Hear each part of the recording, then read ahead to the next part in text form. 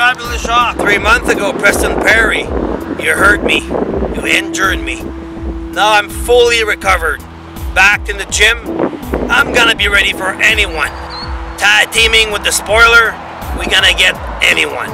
My hometown, nobody's gonna do nothing to me here. I'm gonna be ready. November 5th, Robert Hartley Arena, be there.